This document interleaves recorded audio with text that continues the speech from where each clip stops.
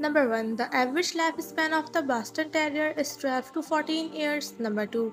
They are usually good with children and love to play. Number 3. It is a lively, happy dog that can be quite determined and strong willed